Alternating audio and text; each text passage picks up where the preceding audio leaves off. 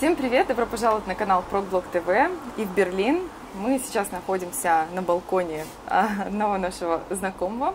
Он живет в Берлине, но помимо этого работал удаленно на американскую компанию а, и, естественно, работал в России. Сегодня поговорим об этом, обо всем. Привет, Миша! Mm, привет!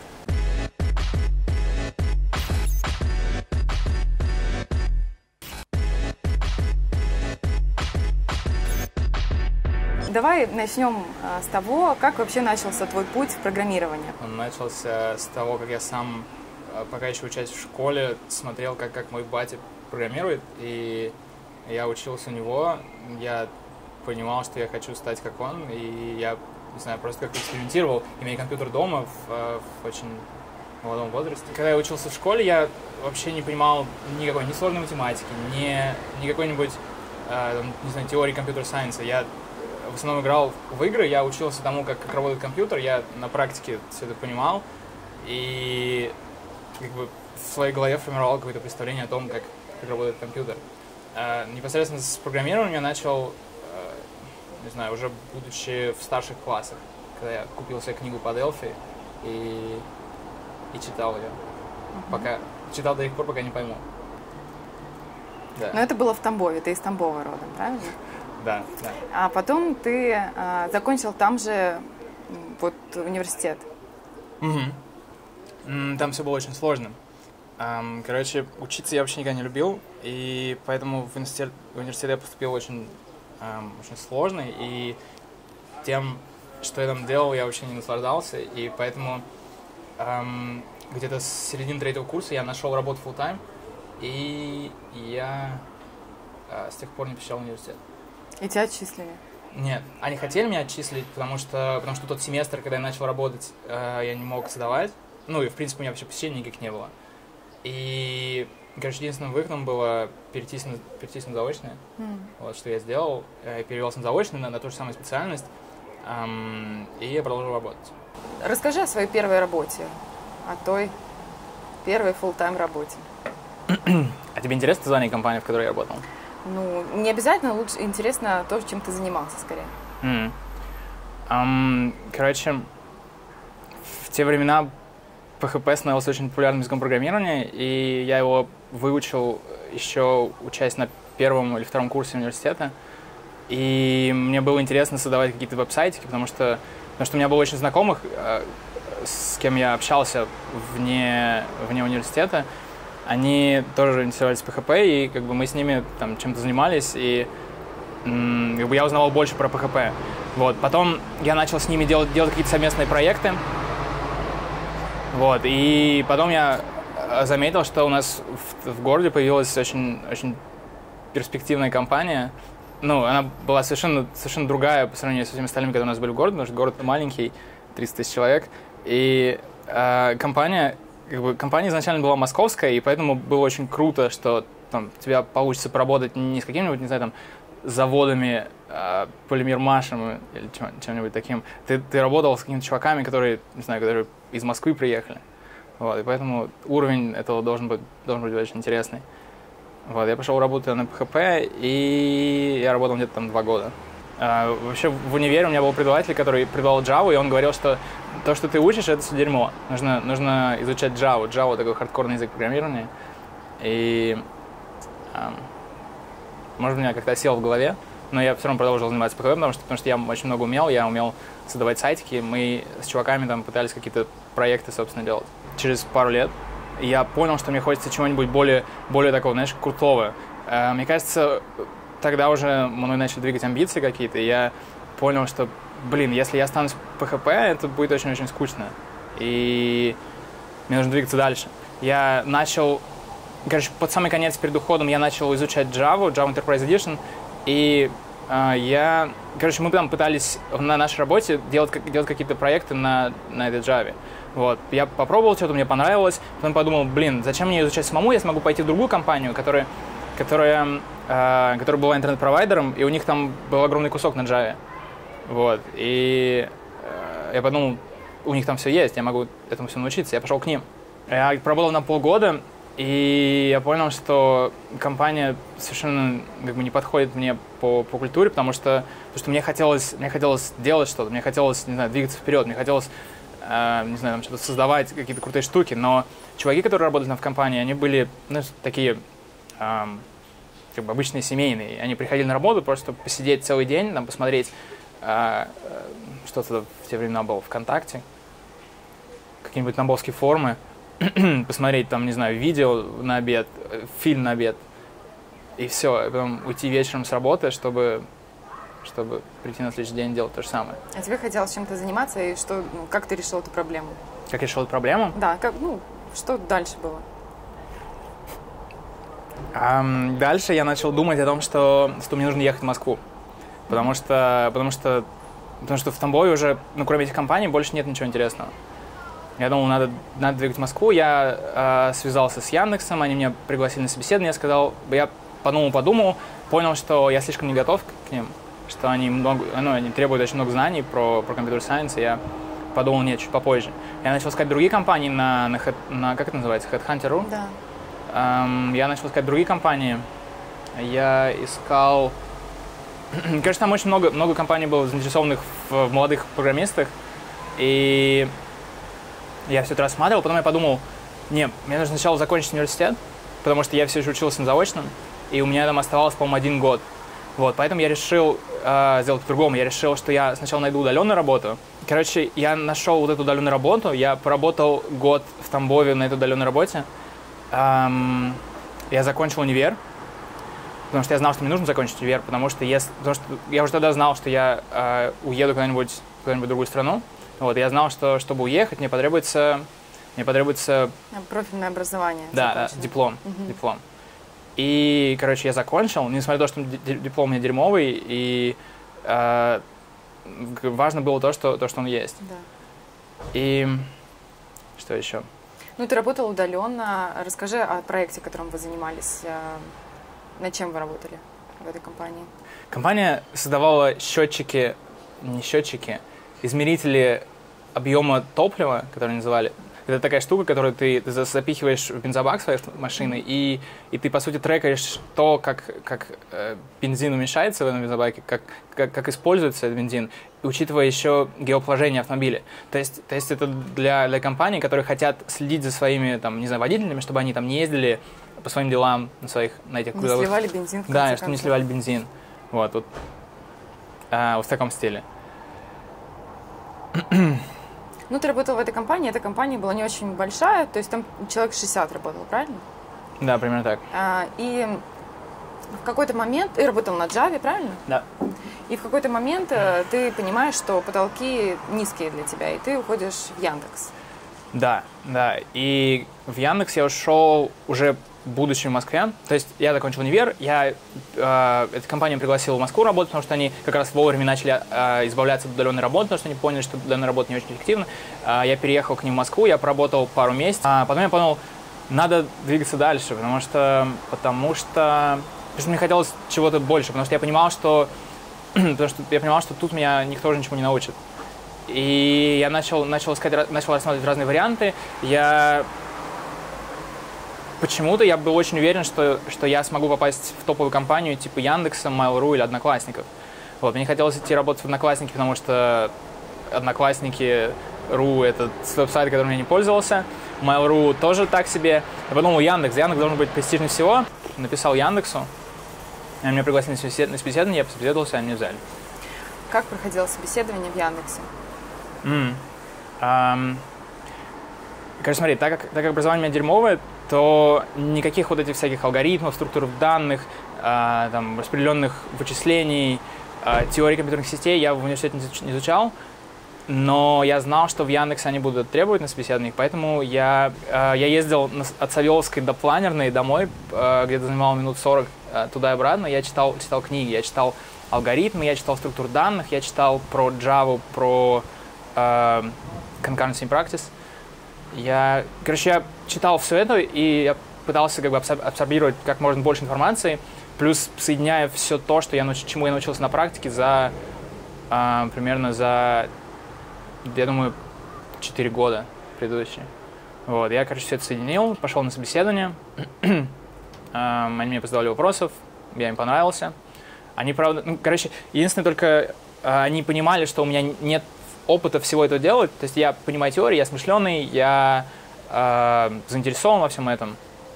Вот, но меня недостаточно было опыта, они мне сказали, что типа, можно там как на джуниора, э, они мне предложили зарплату меньше, чем у меня была до этого. И эм, ну, как бы после, после того, как, как я начал работать, они поняли, что, блин, чувак перспективный, надо ему больше денег давать. И, ну, как бы так они начали замечать, что, что во мне есть какой-то потенциал, и, ну, я встраивался, интегрировался. Вот ты попал в крупную компанию, ну, наверное, это самая известная IT-компания mm. на российском рынке. Были ли вот у тебя какие-то ожидания в этой компании, которые на деле оказались совершенно другими? Конечно.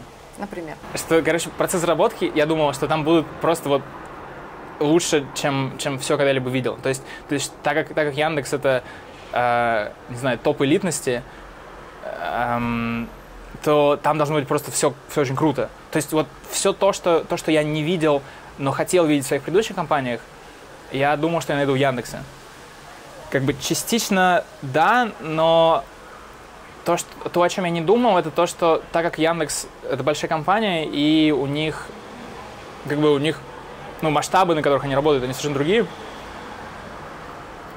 эм, то у них, у них все по-своему. То есть они не использовали, допустим, Maven для сборки. Они э, жили на старой версии Java. Они использовали кучу своих собственных фреймворков. Вот. И вот это было для меня немного удивительно, и эм, как бы этого я не ждал. Но как бы если, так как я сейчас взрослее, я понимаю, что это все правильно, они делали так, как, так, как им удобнее, то, как, так, как для них работало, но тогда я был этим немного разочарован, но все равно не мешал мне получать то, что я хотел получить от Яндекса. Mm-hmm. Это понимание того, как работают, э, не знаю, какие-то огромные системы с миллионами пользователей. Mm-hmm. А над каким проектом ты конкретно работал? А, я работал в Яндекс.Маркете. Яндекс.Маркет. Да. Интересно. Там... Ну, расскажи немножко о том, как была устроена разработка, там, например, от постановки задачи до выхода в продакшн. От постановки задачи до выхода продакшн. Uh, у нас была Jira. Uh, для обычного разработчика, как, как я тогда был, у нас были задачи, которые, я, которые мы на еженедельных планированиях с нашими проект-менеджерами обсуждали. Я эти задачи делал, я собирал нужные Debian-пакеты сам, я выливал их на, в testing environment, там тестировщики тестировали, а потом после этого мы выкатывали те же самые пакеты, потому что как бы важно, чтобы, а, как это называется, воспроизводи, воспроизводимость, воспроизводимость, перевоспроизводимость. Okay. чтобы, как бы, чтобы то, что тестировали, тоже выехало в продакшн. Вот, я это все деплоил в продакшн, Эм, там было очень много э, своего тулинга вокруг всего это построено. Вот, и там было очень интересно, очень интересно видеть, как, как вообще это все решается в, э, ну, как бы в крупных масштабах. Но ты проработала все равно в Яндекс недолго и ушел. Ушел в свободное плавание, правильно? В какой-то момент просто как бы, я начал искать баланс между тем, что я могу еще получить из Яндекса, и тем, э, насколько я хочу переехать в другую страну. Вот, и в какой-то момент баланс просто пере, перевесил. Uh-huh. И как бы будучи тогда еще глуповатым, я подумал, я пойду работать удаленно, потому что это очень круто работать удаленно и жить где-нибудь в Таиланде, э, писать код на, на песочном пляжу, под, на, на шезлонге под, сол, под солнышком. Uh-huh. И я так никогда не сделал. Несмотря на то, что я пошел работать из Яндекс удаленно, эм, я Но, тем не менее, ты в тот момент э, очень много путешествовал, твоя работа была удаленной, и работал ты на американскую компанию. Все так. Сейчас эта тема очень актуальна. Э, многие люди не готовы переезжать из своей страны, э, хотят остаться в окружении своих друзей, не знаю, просто в том городе, где они выросли, например. А, но но хотят поработать э, с uh-huh. американской компанией, потому uh-huh. что стабильная валюта, хорошие, интересные проекты. А расскажи, как ты искал удаленную работу? Для начала, где ты ее искал? Компанию я это нашел на HeadHunter, потому что, потому что компания была частично русская.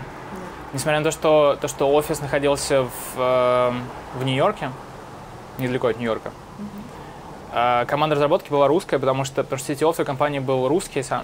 И он, я не знаю, наверное, он пытался либо сэкономить, либо просто э, то, с какими программистами он, он привык работать, он решил создать команду, всю команду разработки из, из русских разработчиков. Ну, вообще это очень удобно было, наверное, потому что он платил, ну, как бы, рабо- сам он, работая из, из офиса в Нью-Йорке, он платил э, разработчикам, наверное, раза в три дешевле, раза в три меньше, чем он платил бы разработчикам в Нью-Йорке. Но, тем не менее, в тот период, когда ты начал работать, это было очень выгодно, потому что как раз рубль падал, и столько не платили а, в российские компании, правильно? Um, да, да. Угу. Интересно то, что в этой компании я собеседовался два раза. А, первый раз, когда я еще начал первый раз думать о том, чтобы уйти из Яндекса, я пособеседовался с ними, они захотели меня нанять, они, э, по...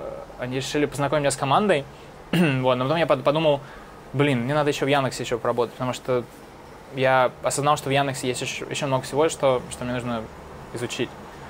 Вот, поэтому я остался.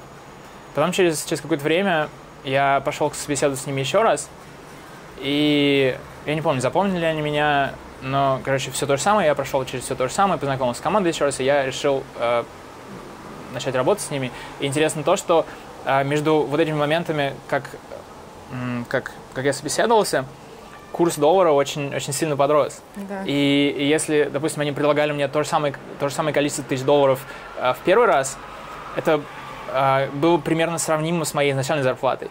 Вот. Но потом, когда но несмотря на то, что прошло время, и несмотря на то, что зарплата на Яндекс, Яндекс стал больше, все равно предлагает то же самое количество тысяч долларов. А, это было, было в русских рублях, это было совершенно, совершенно другое число. Да. Да. да. Но расскажи тогда о проекте, над которым они... Что это был за стартап? Чем они занимались?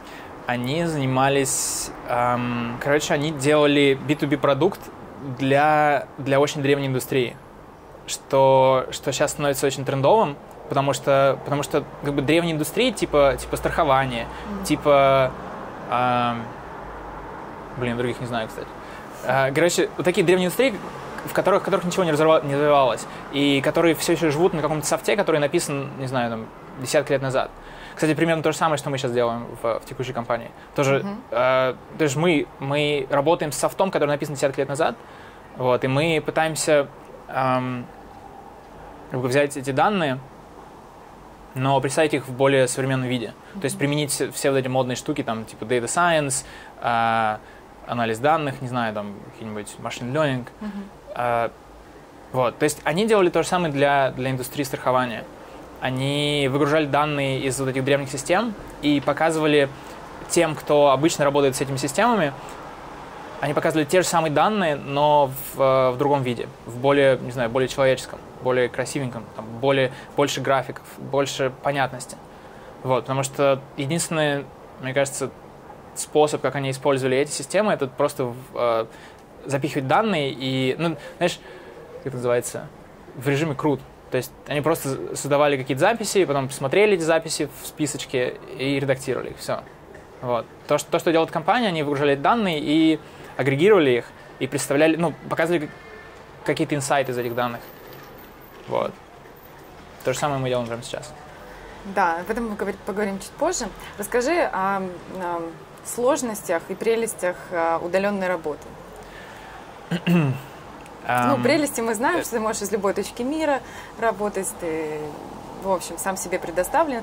Что, с какими сложностями ты столкнулся? Um, интересно то, что когда я шел на удаленную работу, я думал только о прелестях я не думал о сложностях. Возможно, потому что я не знал, либо потому что я просто не подумал о них. А, и что еще смешнее, то, что эти, всех этих прелестей, о которых я думал, я не получил. Потому что, потому что, потому что э, сложности перевесили все. И э, как бы самая основная сложность это то, что ты теперь работаешь не в офисе, ты не общаешься с людьми, ты сидишь дома. Ну, конечно, если ты подготовишься к удаленной работе, ты можешь, э, не знаю, найти себе coworking space, ты можешь, там, не знаю, встречаться с какими-то друзьями на, на обед э, по вечерам, ты можешь, не знаю, не знаю, ходить куда-нибудь, можешь переезжать в какие-нибудь другие страны. Я этого не делал. Я думал, что я просто буду работать удаленно из дома, из своей квартиры, и, и все будет тоже точно так же, только круче, потому что я зарабатываю больше денег, и, и мне не нужно сидеть в офисе. Оказалось, оказалось, что я сидел в квартире, и это было то же самое, как сидеть в офисе, только, только хуже, потому что не было никаких людей, с которыми можно пообщаться. Мгм. Вот. Мне, во-первых, мне очень наскучило это. Эм, и во-вторых, я не очень, не очень подходил к компании. Ну, мы друг другу не подходили, потому что как бы, ну, у, них, у них были другие ценности, у них были другие принципы. Их CTO, он при- принимал все решения, в основном. И, ну, я очень часто был не согласен с ним, но я, как бы, не имея достаточно опыта и э, умения объяснять свои мысли, я, как бы, у меня не получалось донести до него и до команды то, как я считаю, то, как я считаю, должно быть. Вот, поэтому я просто, не знаю, конфликтовал с ними. Проще говоря, ты ну, они как бы не прислушивали, не прислушались к стороннему мнению, ты не имел там веса, не чувствовал себя значимым, правильно? Да, ну, Мгм. как бы я их не обвиняю в том, что они прислушивались к моему мнению, потому что я не мог полноценно вы- выразить свое мнение. Мгм. Но а, суть в том, что, что да, я, я чувствовал, я чувствовал, что я просто не подходил, потому что, потому что вот все, все мои скиллы, весь мой опыт, который, который я имел, он, как бы я не мог его никак применить. Вот, поэтому, поэтому я чувствовал, что я не подходил. Надо, надо было что-то менять. Что касается рабочей коммуникации, все-таки огромный часовой разрыв между Нью-Йорком и Мгм. Москвой, где ты находился. Мгм. Были ли сложности, связанные вот с коммуникацией? Ам, Короче, так как, так как команда разработки была ну, довольно изолирована от всей остальной жизни в, э, в офисе э, CTO, то как бы, проблем не очень много возникало. Ам, потому что... Хотя, наверное, нет, знаешь, как я скажу по-другому. А, наверное, просто CTO построил это так, чтобы, чтобы интерфейс между командой и, и ос- ну, как бы основным офисом, он был очень-очень тонкий. И мы, мы общались через e-mail, и мы общались иногда по скайпу. ну, Видеозвонка, видеозвонками. То есть, если мы с- со, со всей командой разработки CTO мы общались в скайпе там, текстом, то с остальными мы общались либо по e-mail, либо по, либо по видеозвонкам скайпом. Вот, собственно, все. И общение, общение, ну, для меня было очень мало с ними.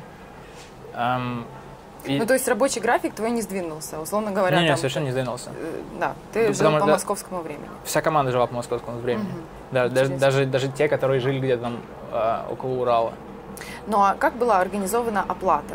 А, Я имею в виду, что ты был, они тебя нанимали каким-то образом в штат или что это было?